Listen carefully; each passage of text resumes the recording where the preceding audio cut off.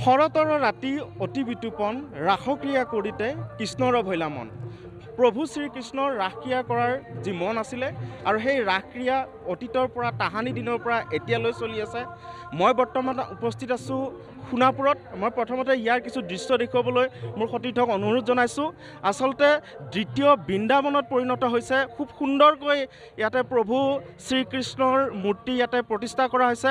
আৰু লগতে কিছু সময় আগতে যি জলাৰোহণ কাৰ্য জলাৰোহণ কাৰ্য সমাপন ঘটিছে ইয়াতে খুব সুন্দৰকৈ শাৰী শাৰীকৈ মূৰ্তিসমূহ ইয়াতে সজোৱা হৈছে আৰু ইয়াতে ৰাসৰ যি ভক্তগণ ইয়াতে মই দেখিবলৈ পাইছোঁ তেওঁলোকৰ পৰা কিছু কথা জানিবলৈ চেষ্টা কৰিম। মই প্ৰথমতে এই আয়োজক কমিটিৰ যি বিষয়ববীয়া আছে বিষয়ববীয়াৰ পৰা মই কিছু কথা জানিবলৈ চেষ্টা কৰিম। দাদা বহু ঘাট প্ৰতিঘাটৰ অন্তত যিহেতু দুটা বছৰ কৰোণাৰ বাবে ৰাস নহ'ল বুলিয়ে ক'ব পাৰি কিন্তু এইবাৰ সীমিতভাৱে হ'লেও পাতাৰ যি প্ৰচেষ্টা কৰিছে আপোনালোকে কেইদিনীয়াকৈ কাৰ্যসূচী ৰাখিছে?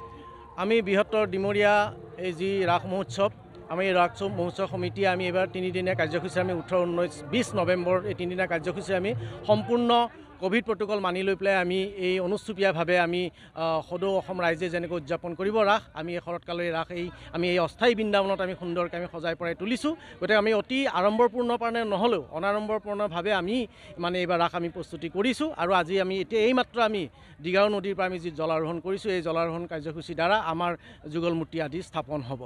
হয় নিশ্চয়কৈ ক'ব লাগিব এক আধ্যাত্মিক পৰিৱেশ আচলতে ইয়াতে এক আনন্দৰ পৰিৱেশ বুলিও ক'ব লাগিব। যিহেতু বহুদিনৰ অন্তত এই ৰাস যি কাৰ্যসূচী ৰাস ইয়াতে উদযাপন কৰিবলৈ তেওঁলোকে আগবাঢ়িছে। কিন্তু আমি জানিব পাৰিছোঁ এইবাৰ তিনিদিনীয়াকৈ হ'ব। যদিও বিগত বছৰসমূহত বৰ দীঘলীয়া সময় ইয়াতে কৰা হৈছিলে পোন্ধৰ দিন বা দহ দিন তেনেকুৱা।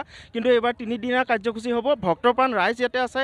আই মাতৃসকলকো দেখিছোঁ মহিলাও আছে কিছু সংখ্যক তেওঁলোকৰ পৰা মই কথা জানিবলৈ চেষ্টা কৰিম। কেনেকুৱা লাগিছে আজি অনুষ্ঠানত? বহুত ভাল লাগিছে। মানে আজি এই দুই বছৰে বহুত মানে বেয়া লাগিছিল একো এতিয়ালৈকে একো হোৱা নাই। এতিয়া আজি নতুনকৈ আকৌ এইটো বছৰত পাতা হৈছে বহুত ভাল লাগিছে। চৰকাৰে এইখিনিতে আৰু এটা কথা চৰকাৰে এই ৰাস উদযাপনৰ ক্ষেত্ৰত কিছুমান নীতি নিৰ্ধাৰণ কৰি দিছে। এই ক্ষেত্ৰত কি ক'ব? হয় সেইটো খুবেই ভাল। চবে মাস্ক লগাব লাগে আৰু চেনিটাইজ চবে ব্যৱহাৰ কৰি থাকিব লাগে আৰু ডিষ্টেঞ্চটো মেইনটেইন কৰি চলিব লাগে চবে। হয় নিশ্চয়কৈ। আচলতে তেওঁলোকে এই যে ক'ভিড যি প্ৰট'কল প্ৰট'কলৰ ক্ষেত্ৰতো আচলতে গুৰুত্ব দিয়া আমি দেখিবলৈ পাইছোঁ।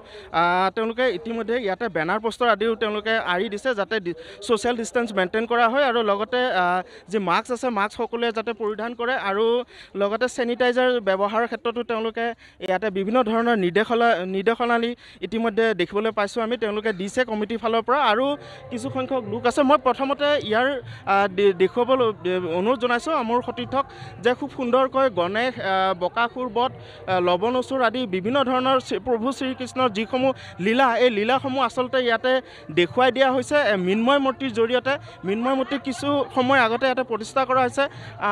আৰু কিছু সংখ্যক লোক আছে মই তেওঁলোকৰ পৰাও কথা জানিবলৈ চেষ্টা কৰিম।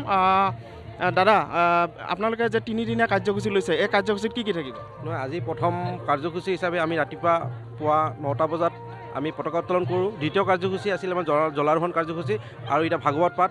আমি ক্ৰমান্বয়ে এই কাৰ্যসূচীসমূহ চলাই যাব ক'ভিড প্ৰট'কল মানি চলাই নিবলৈ বিচাৰিছোঁ। তিনিদিনীয়া কাৰ্যসূচী। তিনিদিনীয়া কাৰ্যসূচীত এনে কিবা সাংস্কৃতিক বা কিবা বেলেগ কিবা প্ৰগ্ৰাম থাকিব? সাংস্কৃতিক নাই আমাৰ ধৰ্মীয় অনুষ্ঠানখিনি হ'ব নাম প্ৰসংগ আদি এই সেই অনুষ্ঠানেৰে আমি এইবাৰ বৰ্ষটো পালন কৰিম। হয় নিশ্চয়কৈ ক'ব লাগিব। আচলতে এইবাৰ যিহেতু ক'ভিডৰ কাৰণে চৰকাৰে বিভিন্ন ধৰণৰ গাইডলাইনছ দিছে। গাইডলাইনছৰ কাৰণে তেওঁলোকে যি ধৰ্মীয় অনুষ্ঠান সেইসমূহে ৰাখিছে। তেনেকুৱা ধৰণৰ বিশেষ বেলেগ কোনো ধৰণৰ সাংস্কৃতিক অনুষ্ঠান তেওঁলোকে ৰখা নাই। কিন্তু এটা কথাই ক'ব লাগিব বহুদিনৰ অন্তত ৰাইজ ইয়াতে একত্ৰিত হৈছে আৰু তেওঁলোকে এক আনন্দৰ পৰিৱেশ ইয়াতে বুলি ক'ব লাগিব।